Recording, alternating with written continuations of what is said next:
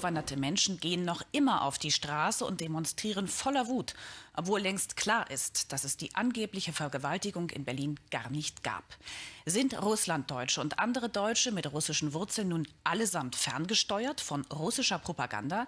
Was passiert da gerade? Und wenn man dieser Frage nachgeht, dann wird es zwar noch etwas komplexer, aber auch interessanter. Daniel Buß und Silvio Duwe. Heilbronn am Sonntag. Wieder ein Protest von Russlanddeutschen, wieder vor allem gegen Flüchtlinge und die deutsche Politik. Und wir müssen alles dafür tun, damit unsere Regierung uns endlich hört. Unter den Teilnehmern viel Angst. Die werden kommen, die werden vergewaltigen und das, das wird jeden Tag schlimmer. Und unsere Kinder müssen bald Arabisch lernen in der Schule. Die, die welche kommen, die passen nicht an uns, an Deutsche an, sondern sieht so aus, dass wir uns an äh, die, die welche kommen, anpassen müssen. Das finde ich schlimm. Den Migrationsforscher wundert es nicht, dass jetzt auch viele Russlanddeutsche auf die Straße gehen. Weil sie im Zusammenhang der jetzigen Flüchtlingskrise äh, zum Teil auch als ähm, äh, auch als Migrantengruppe identifiziert wurden und mit den, äh, mit den Neuankömmlingen verglichen wurden. Und das ist etwas, was ähm, tatsächlich vielen Menschen in dieser Community missfällt, weil das ihrem, ihrem, ja, ihrem Selbstverständnis als deutsche Heimkehrer widerspricht. Und das zeigen sie immer deutlicher. Seit dem Lisa bundesweite Proteste, inzwischen aber ein neuer Fokus.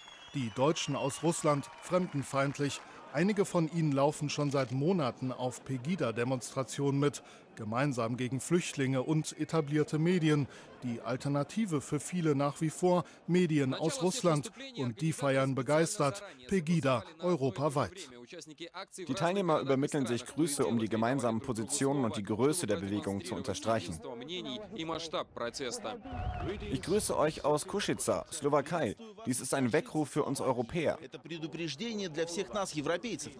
Dazu Stimmungsmache mit einem neuen Link auf einen alten Beitrag zum Albtraum Europas. Man hat den Eindruck, diese Bilder seien in der dritten Welt aufgenommen, aber so sieht es zurzeit auf den Straßen des wohlhabenden Deutschlands aus. Tonnen von Müll in den Städten, tausende Flüchtlinge stehen Schlange für Essen und Wasser. Sie schlafen wie hier direkt neben der Straße. Und auch deutsche Medien fragen, können wir uns noch sicher fühlen? Warnen, der Sturm gerät außer Kontrolle. Und jetzt kommen die Afghanen. Im Zusammenspiel dieser selektiven Wahrnehmung des einen deutschen Diskurses und, des, ähm, und auf der anderen Seite der verstärkten und überhöhten Betonung ähm, dieser Bedrohungsszenarien in den russischen Medien entstand dann diese Mischung, die zu, den, äh, zu der jetzt, bis jetzt andauernden Mobilisierung geführt hat. Eine Mobilisierung, die Russlanddeutsche auch im Netz vorantreiben, hier für eine Demo im bayerischen Deggendorf. Einer der Aktivisten, Vyacheslav Seewald, der sich per Petition den russischen Staatsfunk für Deutschland wünschte. Russlanddeutsche für ihn die Hüter der deutschen Werte.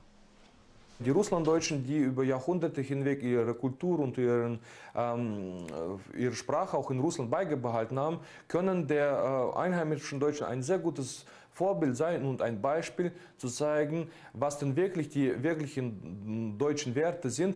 Als weitere Lektüre empfiehlt er alte Bekannte aus der Verschwörungsszene, Plattformen wie Compact und Sputnik News. Nach wie vor seid ihr noch besetzt und die äh, Kanzlerin äh, muss vereinfacht gesagt von den Amerikanern abgeglaubigt werden, ja, dass sie überhaupt regieren darf. Und darum äh, informieren sich mehr und mehr Leute, sowohl bei Russia Today, Sputnik News äh, und weiteren äh, Nachrichtensendern oder auch dann wie bei uns, auch um eine alternative Berichterstattung auf entsprechende Themen zu erfahren. Die Kanzlerin als amerikanische Marionette, im russischen Fernsehen ein investigativer Bericht. Wenn die Kanzlerakte tatsächlich existiert und deutsche Kanzlerkandidaturen müssen tatsächlich in Washington genehmigt werden, dann wird sich Deutschland laut dem geheimen Staatsvertrag das ganze 21. Jahrhundert lang in US-Macht befinden. Die Landsmannschaft der Russlanddeutschen distanziert sich inzwischen deutlich von den Demonstranten und deren Hetze. Ich möchte nochmal betonen, ähm, wenn es deutschlandweit äh, einige tausend waren. Es gibt vier Millionen Russlanddeutsche und ich denke, in diesem Fall kann man sagen, dass äh, diesem Aufruf sehr, sehr wenige Russlanddeutsche gefolgt sind.